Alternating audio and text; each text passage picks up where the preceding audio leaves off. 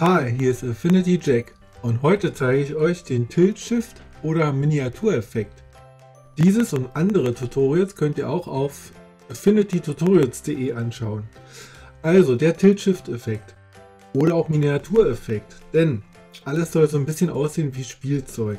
Das kann man zum einen herkömmlich machen mit einem bestimmten Objektiv, aber eben auch nachträglich per Software. Und diese Variante zeige ich euch mal. Ist hier ein bisschen versteckt, ich nehme hier den Live-Filter und dann unter Schärfe, Tiefenschärfe.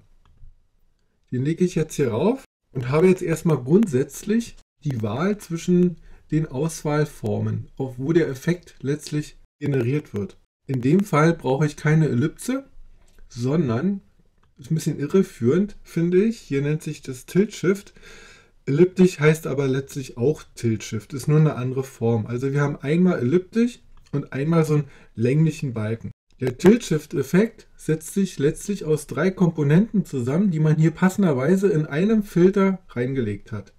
Nämlich den Radius, das heißt, ich zeige es gleich mal, die Stärke der Unschärfe. Kann man jetzt also einstellen, wie unscharf der Bereich letztlich hinten werden soll. Ich gehe mal nicht ganz so stark, ich mache es mal so. Und werde mich jetzt auch gleich erstmal diesem Unschärfebereich widmen. Und zwar, man hat ja hier verschiedene Punkte und verschiedene Linien. Ich zeige mal, was diese Punkte bedeuten. Der Punkt in der Mitte ist der Fokuspunkt. Das heißt, in diesem Bereich hat man die eigentliche Schärfe, so wie das Bild mal war. Also da, wo ich das hinziehe, dieser Bereich, dieses Feld zeigt Schärfe. Alles andere wird unschärfer. Also ziehe ich mal den Fokuspunkt erstmal schon mal hier hin. Die zweite Linie, hier markiert mit einem Punkt, markiert den Bereich, wo es anfängt unscharf zu werden, also wo der Übergang stattfindet. So, den kann man sich jetzt einstellen für beide Bereiche, einmal für oben, einmal für unten. Ich mache es jetzt also mal für meinen Effekt in etwa hier und gleichzeitig kann man jetzt, ich zeige es mal, das Ganze neigen. Also ich gehe mal so knapp an der Flugzeugkante entlang. Und der dritte Bereich ist dort, wo dann wirklich die absolute Unschärfe beginnt. So, das mache ich jetzt mal in etwa so. Ein zweites Element von diesem Tilt-Shift-Effekt ist aber auch die Sättigung, hier genannt die Leuchtkraft. Also die Farben sollen auch spielzeugartig schön knallig sein. Insofern kann man hier die Leuchtkraft regulieren. Da hier nicht ganz so viele Farben drin sind, gehe ich mal auf Anschlag. Und das nächste ist, dass ja der Unterschied zwischen der Unschärfe, die man hier einstellt, und der Schärfe. Klarheit ist also ein Element der Schärfe. Dass dieser Kontrast ziemlich stark sein soll. Also kann man auch hier diesen scharfen Bereich gleich ein wenig schärfer machen. Ich gehe mal ruhig recht hoch, sagen wir mal so bis hier. Jetzt hat man allerdings folgendes, wenn man hier sieht, verschieben sich die Ränder. Man bekommt hier so Ausblendung.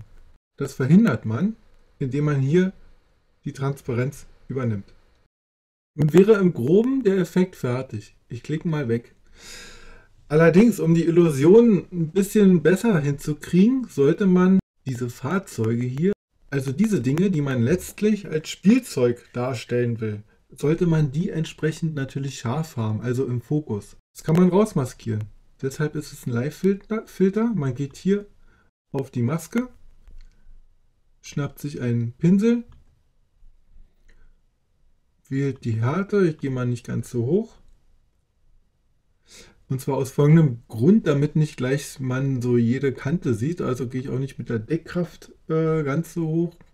Nehme ich die auch mal ein bisschen niedriger und fange jetzt an rauszumaskieren. So, ich mache es jetzt nur mal schnell, nur um diesen Weg zu zeigen. Man würde jetzt also natürlich diese Heckleitwerk rausmaskieren. Man würde natürlich diesen Bereich gerade maskieren. Man würde jedes Fahrzeug, die Person, ich zeige es nur mal kurz, die würde man alle man müsste dazu natürlich rangehen, ein bisschen ordentlicher arbeiten. Man würde die alle frei maskieren. Zum Beispiel auch den Hut, da müsste man natürlich die Pinselgröße anpassen.